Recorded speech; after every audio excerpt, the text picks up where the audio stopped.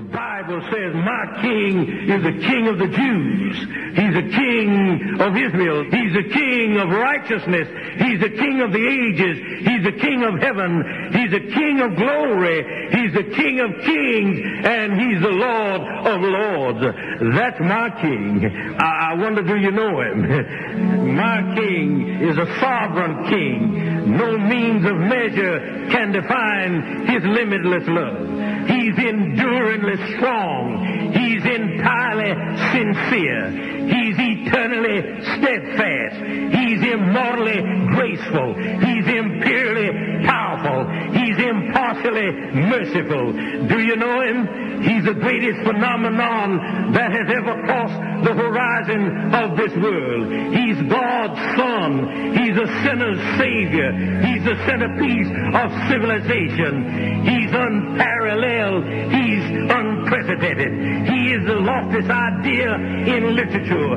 He's the highest personality in philosophy. He's the fundamental doctrine of true theology. He's the only one qualified to be an all-sufficient Savior. I wonder if you know him today. He supplies strength for the weak. He's available for the tempted and the tried. He sympathizes and he saves.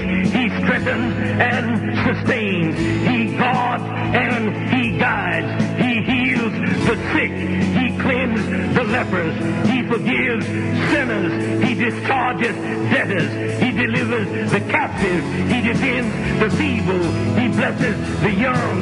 He serves the unfortunate. He regards the aged. He rewards the diligent. And he beautifies the I wonder if you know him. He's the key to knowledge. He's the wellspring of wisdom. He's the doorway of deliverance. He's the pathway of peace. He's the roadway of righteousness. He's the highway of holiness. He's the gateway of glory. Do you know him? Well, his light is matchless. His goodness is limitless. His mercy is everlasting. His love never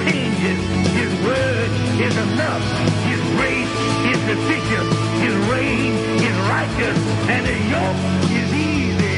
And his burden is light. I wish I could describe him to you. He's indescribable. He's incomprehensible. He's invincible. He's irresistible. Well, you can't get him out of your mind. You can't, you can't get him off of your hand. You can't outlive him, and you can't live without him. Well, the Pharisees